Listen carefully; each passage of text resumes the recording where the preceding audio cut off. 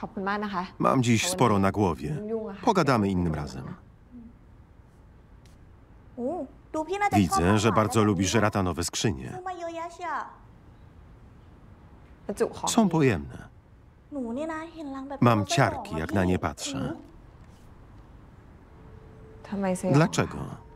ก็ตอนหนูเด็กๆ Gdy อะพี่ byłam หนู mała, อยู่ยุธยา mieszkaliśmy w ใช่ปะ Ajutai. Pewien tamtejszy lekarz zamordował swoją żonę.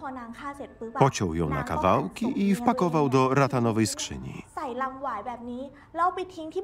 Potem wrzucił ją do jeziora w Bangsai. Sa Lao? Tak. Widziałaś je? Okropne bagno, śmierdzi tak strasznie, że maskuje odór rozkładających się ciał.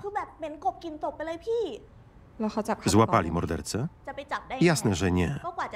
Rok szukali ciała. Dawno zdążył zwiać. Skąd wiedzieli, że zabił mąż?